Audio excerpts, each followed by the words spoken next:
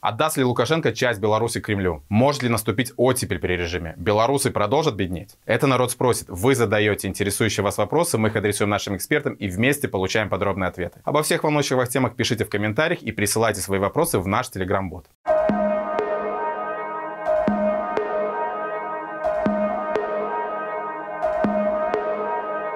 Самый главный страх Лукашенко – потеря власти. Именно эта фобия превратила в Беларусь в концлагерь, в соагрессора в войне с Украиной и базу для российских войск. Привела к правовому дефолту, беспределу и тотальному контролю силовиков, сдачи суверенитета Кремлю. А Кремль никогда не воспринимал Беларусь как независимое государство. И планы поглощения Беларуси России вполне реальны. Это подтверждали и многочисленные заявления Путина и сливы планов захвата и поглощения Беларуси. Ради своего выживания и сохранения власти Лукашенко пойдет на все. А сколько стоит его слово и гарантии, в том числе и суверенитета нашей страны, мы прекрасно знаем. Логичный вопрос от зрителей Маланки. Отдаст ли Лукашенко часть Беларуси Кремлю? Я не вижу никаких причин, по которым Лукашенко был бы заинтересован расстаться целиком с Беларусью или с какой-то ее частью.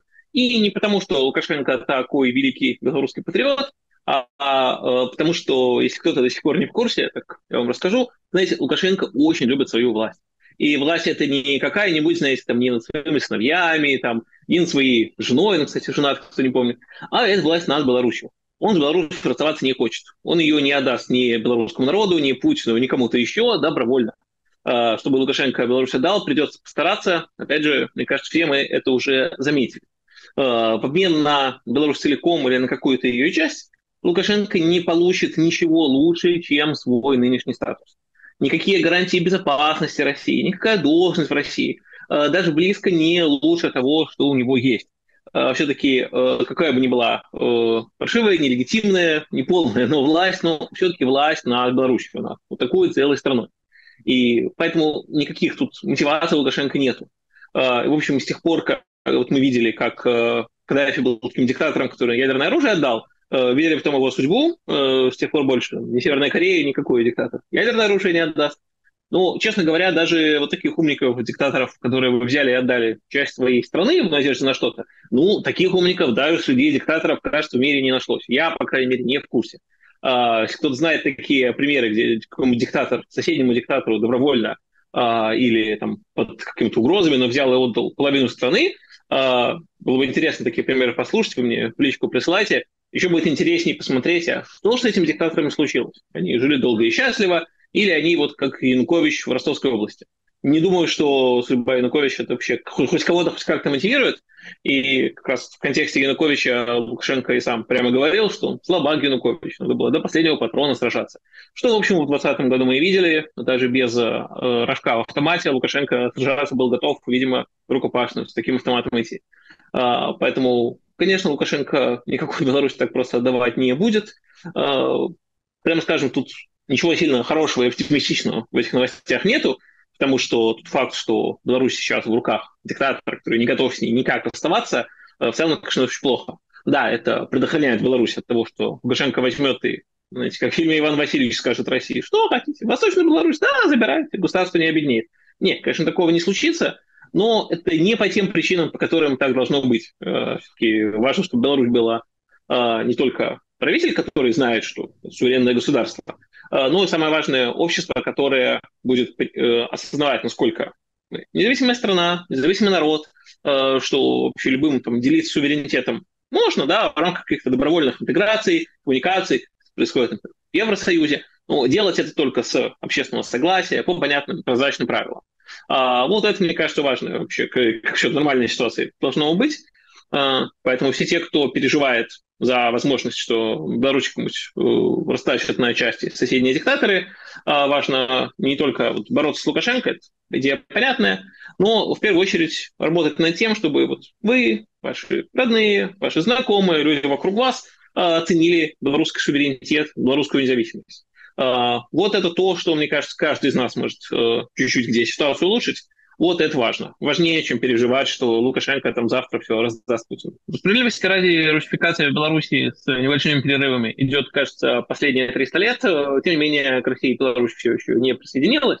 А, то, что происходит сейчас, вызвано вполне понятными политическими событиями 2020 года.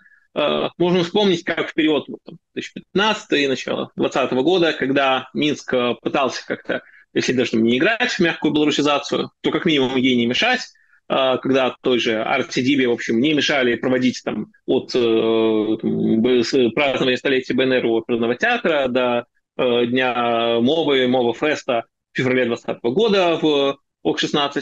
А, а теперь вот Паша Балаул сидит в тюрьме как э, экстремист-террорист и предатель Родины, э, свободу Паши и свободу всем политзаключенным. А, так вот, мы видим, как после 2020 года вот такие вот э, игры в такую белорусизацию для Минска закончились. Ну, во многом просто потому, что изменилась политическая возможность. Лукашенко считает, что угроза вот таких белорусизаторов для него сейчас выше, чем угроза от Путина. Тут отдельный вопрос, прав Лукашенко или нет, ну, кажется, вот так он оценивает. И в такой ситуации, да, Минск, в общем, целиком пошел на встречу России. Это было, в общем, ясно с встречи Лукашенко и Путина в сентябре 2020 года, когда Лукашенко за, по сути, за сохранение своей власти обменял, да, сильные возможности сдачи некоторого суверенитета а, и облегчения для входа российских войск. И вот этот десант российских пропагандистов в белорусские медиа, который уже в августе 2020 года начался, я помню, как мне бабу все в Минске звонили, Rush Today, и говорили, да, класс, давайте, значит, мы Rush Today для, запишем с вами интервью для белорусского телевидения. Вот как бы уже это было, мягко говоря, звоночком о том, насколько все плохо с информационным суверенитетом. Э, и да, с тех пор только усиливается. Мы видим, как различные активисты, такая как э, даже Бондарева, наиболее заметная, которые проявляют вообще свою пророссийскость, а, в общем, на других людей даже Лукашенко-то опереться и некуда. Э, те активисты, которые были не пророссийские, они и сами настроены сильно против Лукашенко, и Лукашенко не готов с ними работать. И в итоге просто ничего лучшего у Лукашенко нету. И да, вот эти все риски этой русификации, они есть, но Лукашенко их сейчас боится меньше, чем остального. Э, вот откуда вся эта пророссийская сейчас в белорусской политике лезет. Э, в то же время никаких э, системных изменений, в общем, не произошло, справедливости ради. Единственное, что 2020 года вот серьезное было подписано, это те самые дорожные карты, из-за которых долго воевали. Тем э, и действительно даже налоговая интеграция, и все не очень хорошо. Но даже российских баз в Беларуси военных официально так создано и не было. Э, никаких новых принципиально. А, мы видим, что там никак там иначе Беларусь там, в Россию ни областями, ни целиком тоже не вошла. А, да, идет какое-то ползущее признание аннексированных территорий. А, тем не менее, мы видим даже там официальных признаний заявлений, что Абхазия и Южная Осетия независимое государство, даже и этого не было. А, поэтому да, и точно так же не регистрируют в Беларуси пророссийские партии, хотя было так много таких попыток у пророссийских активистов. Всего этого Лукашенко старается по-прежнему избегать и лавировать насколько способен. Поэтому вся вот эта русификация – это последствия политического выбора Лукашенко осенью 2020 года, но никак не какая-то э, подготовка к сдаче суверенитета Беларуси. Просто потому, что Лукашенко не готов делиться властью.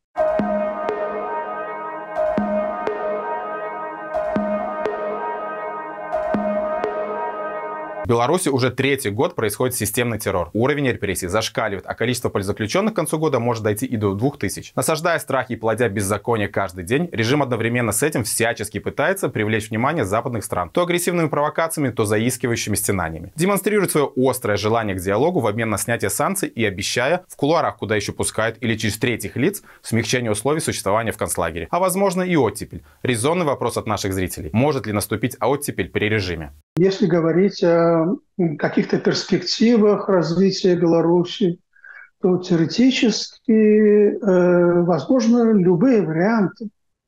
Вопрос о вероятности.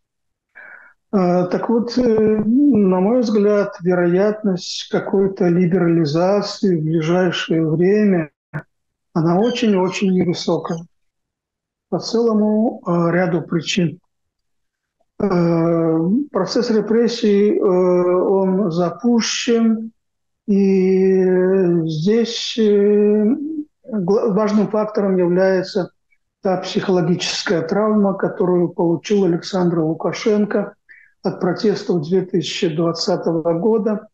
И нынешние репрессии – это способ компенсации этой травмы.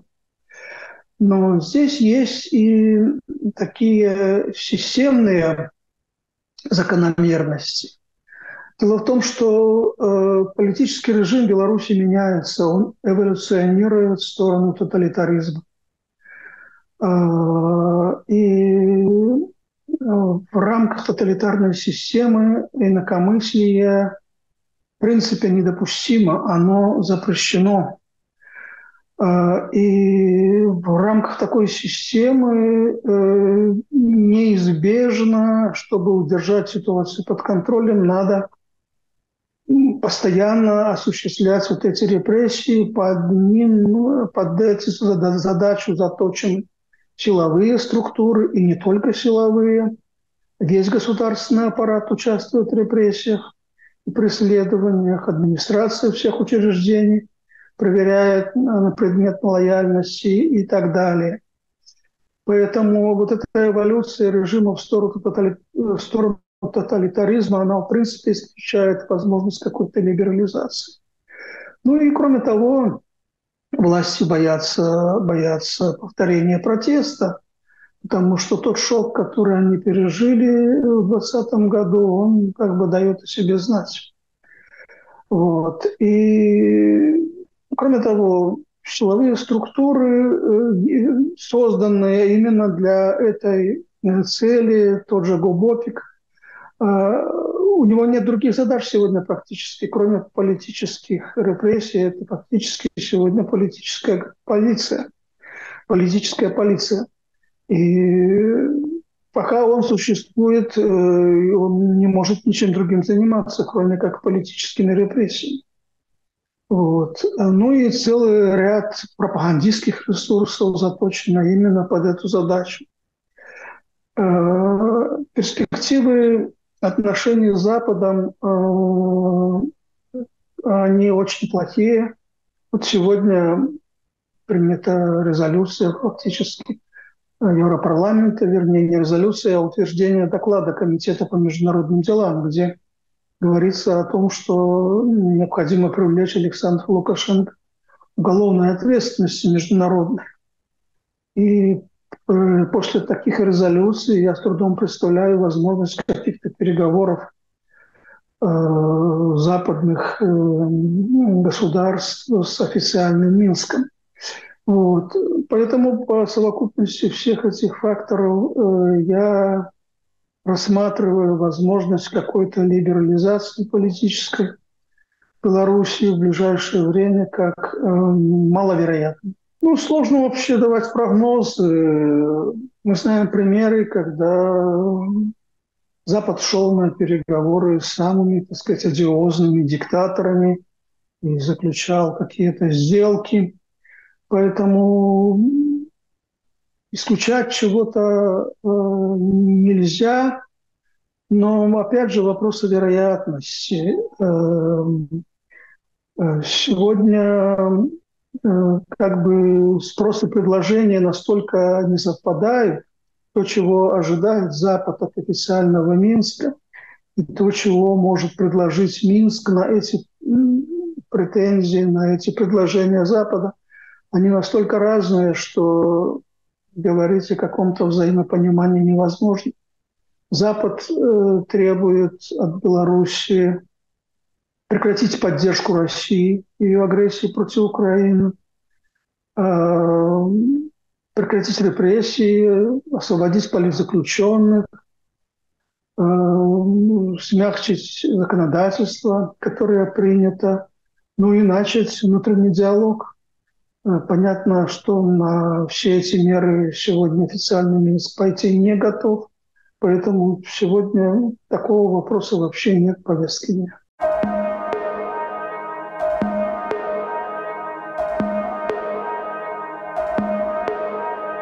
Новость о том, что в евро и доллар в ближайшей перспективе вполне могут стоить больше 4 рублей, уже никого не удивляет. Как и то, что в Беларуси за чертой бедности живет уже более 300 тысяч белорусов. Мы привыкли к тому, что наша страна стремительно беднеет. К постоянному росту цен и инфляции, которая съедает символический рост зарплат и пенсий. И к тому, что доходы большинства белорусов уходят исключительно на еду. Страна для жизни, стабильность и конкуренция экономики и благосостояние большинства белорусов, равно как и рекордный урожай и запредельный рост надоев, все это циничные фантазии пропаганды. Реальность сегодня сегодняшней Беларуси – застой, деградация и экономия во всем. Наши зрители спрашивают, продолжат ли белорусы беднеть? Первое, что я бы отметил, э, что общий распространенный штамп, что белорусы беднеют, э, он, ну, э, выражаясь мягко дипломатично, не полностью соответствует действительности.